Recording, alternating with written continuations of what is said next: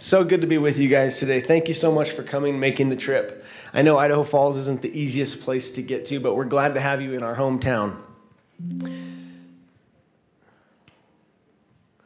Uh, today I'm going to share some recipes for success. The conference theme of ProfCon is Learn, Prepare, Share.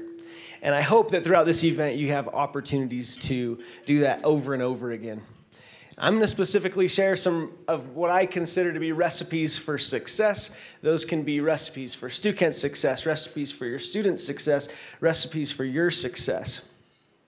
Uh, thank you for taking time to go with us yesterday. We had a blast. Rich already talked about it, so I won't go into more detail, but I'm grateful for the memories we were able to make together. Um, everyone knows that middle school is tough. As the little guy, it's really tough and I weighed 75 pounds going into my eighth grade year at a different middle school. My parents moved me between seventh and eighth grade year. And my mom, she had this really good idea that the best way to make friends fast would be to run for student body officer right away. and she said, "You can, you, I'll help you prepare your speech." And uh, she's like, "Your name's Stu, so you can create a, a, a stew recipe for your speech for student body. And so my recipe theme today comes from that experience. Our school mascot at the high school level where I grew up is a sputter. And I grew up in Washington State, not Idaho, but we made David Letterman's worst mascots. Anyways, um, potatoes was one of the ingredients. I mean, it had to be in the stew, right? And I went to put it in, and I had a brain fart. I could not remember for the life of me in that moment what the potato stood for in, in my speech. And so I just went, potatoes stand for potatoes. And I threw it in, and the whole audience laughed and laughed and laughed at me, not with me. and, uh, it's tough giving a talk in front of your peers, okay? So I appreciate the laughs that you're, you're laughing with me, hopefully, and that we're able to have uh, a lot of fun and that you're supportive of the peers that are going to be speaking in the other sessions as well. Um, but where I'm familiar with being the little guy, I've kind of learned to embrace it. And Stukent is enjoying being the little guy. I, we feel like we're really big now. If you've been with Stukent for the last 10 years, like, hey, we're getting big compared to where we were, but we're still really small compared to Pearson and McGraw Hill. And I like to tell people, some of you may have heard this, we believe at Stukent that what Under Armour was to Nike and Adidas, that's what Stukent is to Pearson and McGraw Hill. And we've got a long ways to go. Thank you for being a part of the ride with us. Um, Lindsay Joe, my wife, she has a recipe. And when we've brought on new customers in the very beginning days, we would share the Lindsay's recipe as a thank you for joining the Stukent team. And then uh, we would talk about Stukent's perfect pedagogy here. This little formula, I'll go into more detail on it later. That's our recipe. Um, and we need to look for recipes, ways to solve problems if you look at these headlines, just skimming, universities are going to continue to suffer. The reckoning is here. Colleges in crisis. Uh, why more Americans are skipping college. Experts predict 25% of colleges will fail in the next 20 years, right? those are scary. That's not very exciting to hear. I think where all of you guys are in the system, you're working in this system that's getting beat up so badly by the media. It's time to go, wait, what are we doing to fix this problem? How are we addressing this? Are we paying attention? What can we do to fix it? Um, the traditional higher education system must evolve or die. As a, as a society, I believe we can't afford for it to die. For uh, the vast majority of students, young Americans, to have the goal of reaching a, a, college education, moving away from home, having that rite of passage, coming into adulthood experience. Just for that alone in society, we need the system, we need a higher education system that's powerful, but that works, that provides the level of um, experience that prepares a student for the real world. Uh, our mission at Stukent is to help educators help students help the world. So when I see those headlines, I go, yeah, but wait, watch what Stukent's gonna go do to help all these educators. Because, you know, when you when media the media aims at a system, no, no one person bleeds. It's easy to make the system bleed. No one's mad at you as the writer for making the system bleed. So they can pick on the system and beat up the system a lot, right? Um, the educators, professors, you guys don't feel like it's your fault. The university, they say, hey, we're, we're working hard for you. We're not the problem. And the publisher, they go, hey, we're not the problem either. We've been working hard for you guys for a century. All right? Everyone has a part to play in the system being picked on this hard. And if we all just keep pointing fingers the other way, that's not going to solve any problems. So we should look inward at what we each can do, right? But I personally believe that the publishing, the publishers and the publishing system is a big, big part of the problem. The, you as educators are busy, and you you guys have lots on your plate. Getting good material, up to date material, that prepares you to teach your students what they need to be on job and powerful on day one after graduation.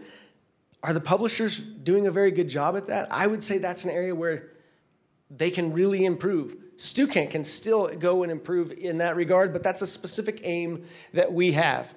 So, how do you learn slash retain information information the best? We got five options here, folks. Raise your hand if you're more number one, audio. You're like, yeah, I don't read, I just listen to the audio books. Raise your hand, I want hands raised. Okay, very few in this audience. Okay, as a professor audience, I thought this would be interesting because it could be unique. Who's more visual? Okay, so more hands on visual. Uh, you're going to hit play on the video if it's there. Kinesthetic, number three. Who are the hands ons? Okay, got some of those in the audience more than one, less than two. Number four, reading and writing. The readers and writers, okay. And now that we're to the bottom and you can see that there's an all of the above option, raise your hand if you're the all of the above type. You're like, I, I, I need a mix. Okay. Good.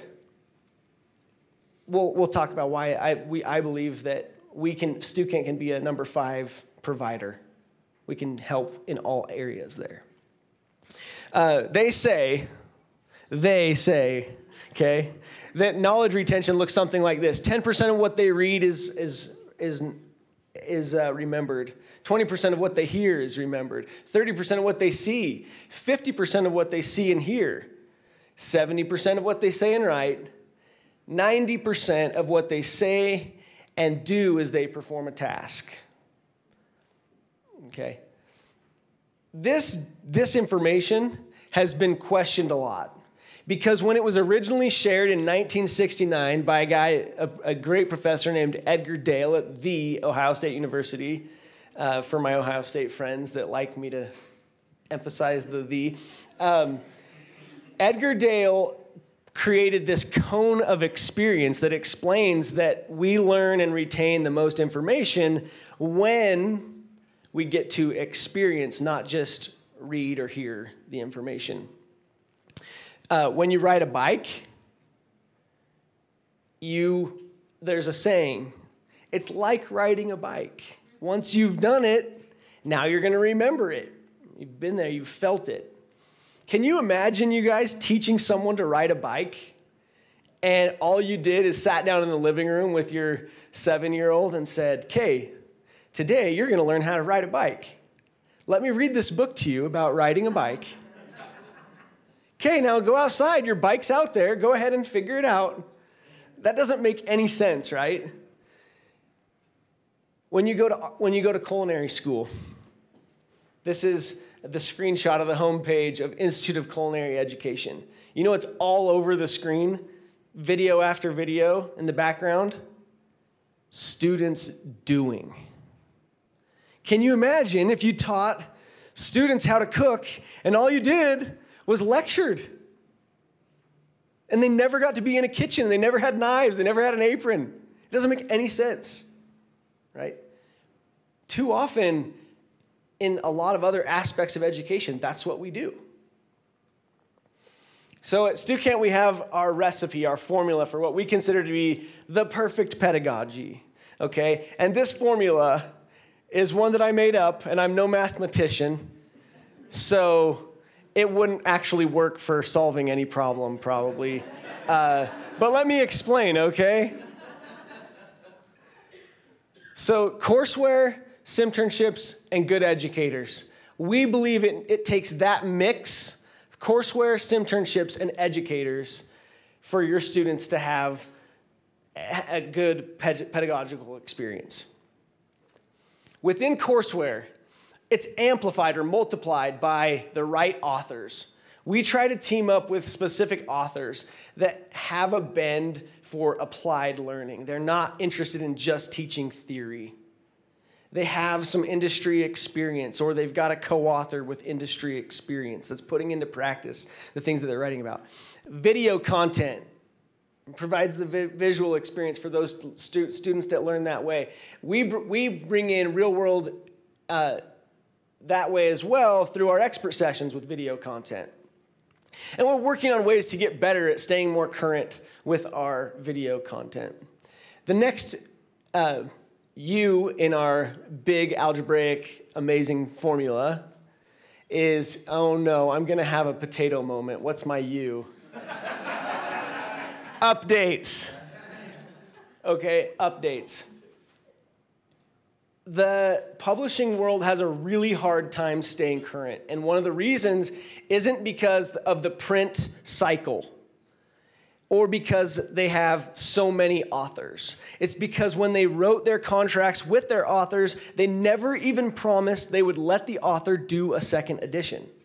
When we sign up our authors, we literally tell them before they sign up, and I have had eye contact conversations with our authors. You understand, we want you to update this beginning like nine months, right? And one year from now, we're going to go on to version number two.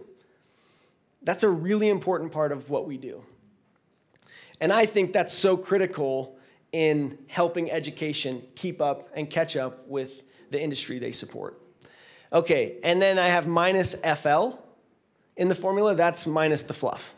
Okay, got to take out what some of our authors have called akawini. Yes, we're getting some claps for that. We're, we're concise. Professors, you're going to hear, or I hear this from professors all the time, but the students don't read anyways. I just use the simternship. Why don't the students read? Because you don't make them. You don't punish them if they don't. So, yeah, why would they? When I was in school, when you guys were in school, when we were in school, if you didn't read, you were going to fail, right? So I, I push back a little bit when I hear that. I believe that we as educators are a big part of the problem as to why students are not reading. Okay, on the simternship side, we're giving real world experience. It's, it amplifies the simternship when it's we're simulating real platforms that the students will actually use on the job and they can tell and say in an interview that's what they're doing we provide the hands on experience and they can uh, have a re- repetitious learning experience. There's a lot of uh, studies that will share that we learn better when we hear it over and over again. Try memorizing something by only reading it once. And last but not least, in our simternship section of the formula is certification. We're providing the students with a reward for their work. A lot of studies around that too, right? Incentives. Okay, last but not least, we need the educators. You guys, as teachers, we want to provide an experience for you, and we're working hard to get better at that. Remembering that the very first part of our mission is help the educator. Um, and there's another F there that might be a potato moment unless it comes back fast. Um, it's not going to come to me. But we got a lot of cover and only eight minutes left, so here we go. Okay. Um, that, you guys, is what I believe is the perfect pedagogy. When you can mix all those things, it can be really powerful for your students. They will retain this information, and we've heard it over and over again. We're getting, I, I got my internship at Google, I got my, my uh, job at Adobe, and I talked about my internship experience in the interview. In the marketing world, we love you as marketing educators. We've now created, we've applied this formula, this recipe in all of those subjects. Another one I'm really excited about looking at in the near future is AI for marketing as a subject. Doesn't every marketing school need that now? Who's going to be first, Stukent, Pearson, or McGraw Hill to create that? All right.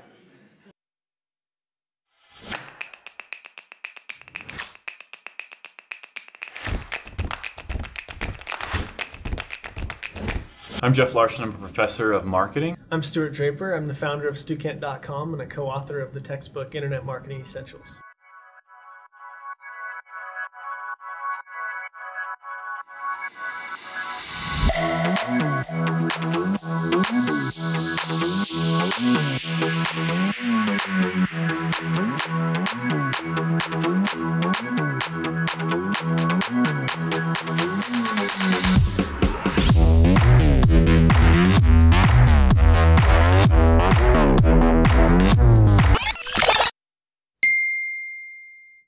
A simternship, or simulated internship, gives your students hands on experience without asking them to take any real world risks.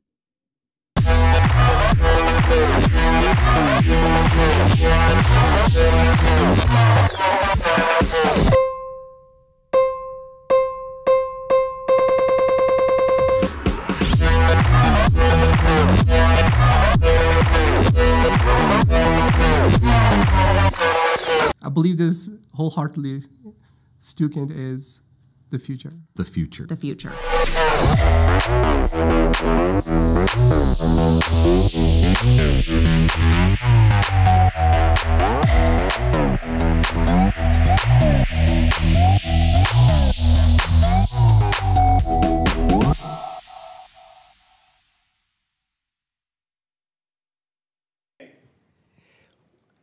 This world of simternships that we're building is one that we feel is a big part of the future of education. We've done it for marketing. We're going to continue to do it for marketing. And the ones that we've done for marketing, we're going to continue to make better. Okay, so if you've been with Stukent for five years, in Jaws' case, as he told me at the beginning, he's seen it evolve already, and it will continue to evolve. Uh, we're all, as we add more, we believe that marketers are better at their job when they have the experience of being an accountant, when they have the experience of doing HR and sales and supply chain and the other aspects of business. So, can you tell your colleagues, do you mind helping us out in that way? Being ambassadors for us a little bit and saying, hey, you should check out, consider using the simternship that, that, that building for your subject or has built for your subject. Okay, here comes the next one, guys.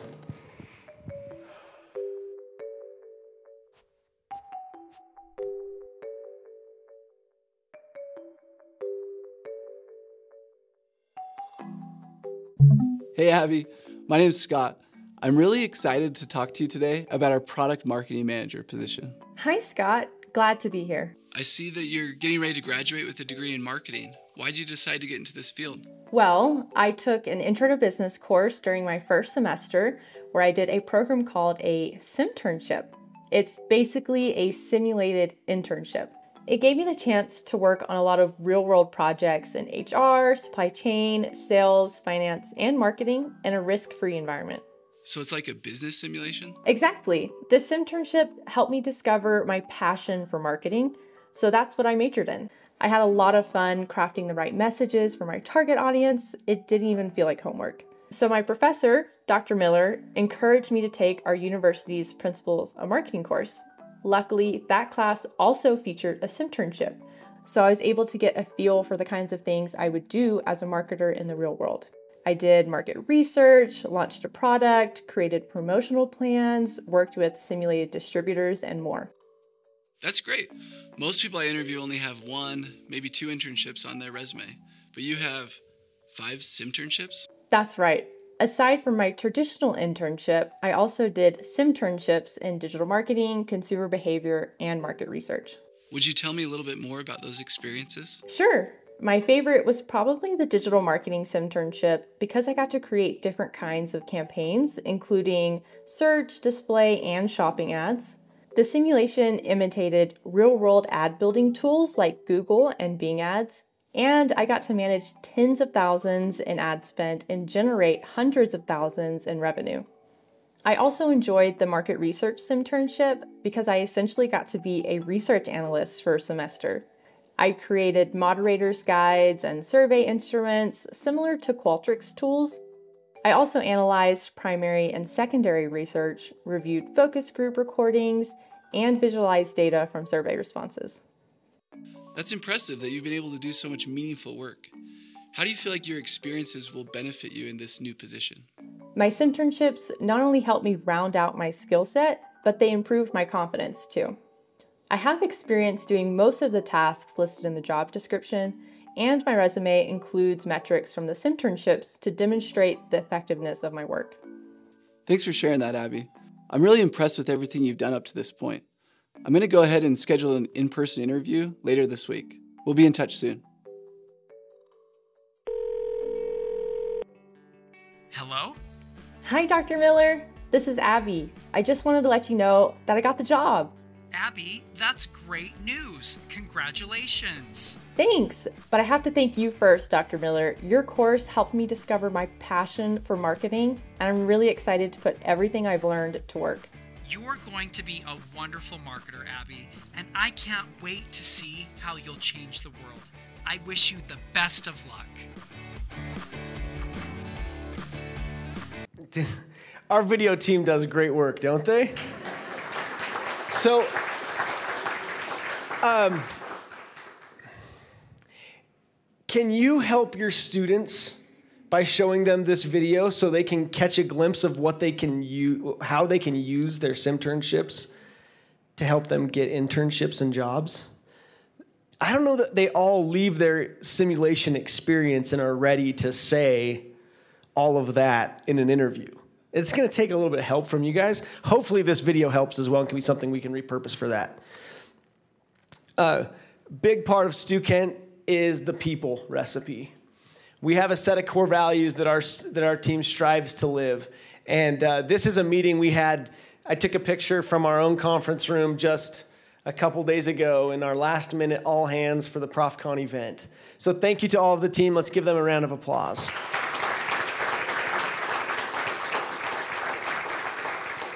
Um, they, they're fantastic. I'm so grateful for all of them and what they do.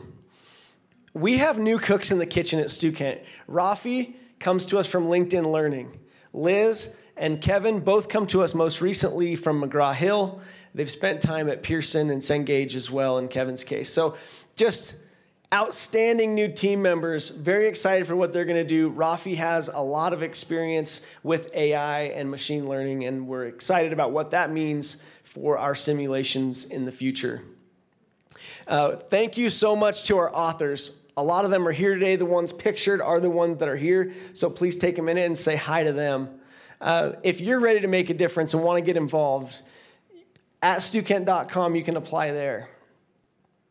Um, technology is evolving education and always has, right? Um, we have seen it how teachers used to say, remember this? You can't use your calculator because you won't you might not have your calculator when you need when you need it, right? Well, what we always have calculators now, right? Uh, right now, when you look at AI, so many of the headlines, Sal Khan and his amazing TED talk, I hope you'll all go watch, talks points out the scary headlines for AI. It says things like New York City schools ban ChatGPT amid cheating worries. Alarmed by AI chatbots, universities start revamping how they teach ChatGPT and the death of education, right? Um, Sal's speech is called How AI Could Save, Not Destroy Education. Um, I'm so thankful to Kent Kent is a, was my professor that taught me digital marketing. Kent Lundeen is his name. The name for Stukent stems from there. For those that didn't know that, student Stukent story, and it plays on the word student, right? Um, one of the things that Kent did was he stood up in the beginning of class in 2006 and said, I don't know digital marketing, or in that case back then, he probably said online marketing or internet marketing, but it's important. You're going to need to know it. Let's learn together. Okay. And then when we had questions and he and we stumped him and he didn't have an answer, we could he would say something like, "Does anyone know this? If they don't, then let's go Google it and we'll learn together." I'm so thankful he was willing to do that. That 2006 experience is what I hope you guys start doing with AI for your students. Rather than take so much time worrying about the cheating side and the other downfalls of AI and scary things about AI, think about how you're going to use it for good to help your students get, go be ready for the, the workforce. And you can do that if you go Google Chat GPT prompts for marketers. HubSpot's first response 190 Chat GPT prompt mark, prompts marketers should use. I hope you guys, as marketing professors, will go learn those get familiar. Uh, chat, chat, prompt, chat GPT prompt engineering. This shows how fast industry moves. There's already full courses on how to be a prompt engineer. In three years from now, it might start getting in university catalogs, right? So don't wait for the catalog. I share all sorts of tips here for a recipe for staying current. I'm not going to have time to go through it all, but I want to point out one. Don't wait for the catalog to change. Guess what the name of the class was that I signed up for where Kent Lundeen taught us digital marketing? It was called database marketing. And he's like, instead of teaching you junk mail and how to, how to manage a database of uh, customer addresses, we're going to talk about digital marketing. So find ways around the system like that that can be helpful to help us not have the problem we've had where we have the headlines that we're having. In closing, I hope. Oh, wait, wait, wait. I have to share one more thing. I, I know I'm over time, so I'm like trying to see what I cut here. But I got to share one more thing about AI. Stukent's going to do some very exciting things with AI, and we've already started our work on it one of the things that we're going to be able to do is provide feedback to you as educators. Another thing that we're going to be able to do is provide feedback to your students, relevant, up to date feedback that says, here's where you can do better in the next round. But it can be a lot more sophisticated than what we're able to provide today, right? Uh, tutors uh, can be much more sophisticated. And in, in Sal Khan's talk, he gives you all sorts of examples. So go look that up. That TED talk by Sal Khan is a must watch for every educator. Uh, in closing, I promise we will continue to stay on our mission to help you, help your students go help the world. Uh, we do that in all sorts of ways. Thank you so much. If, if we get a chance, I'd love to meet in person over the next couple of days if we haven't already. And uh, I'm on LinkedIn as well. So thank you guys.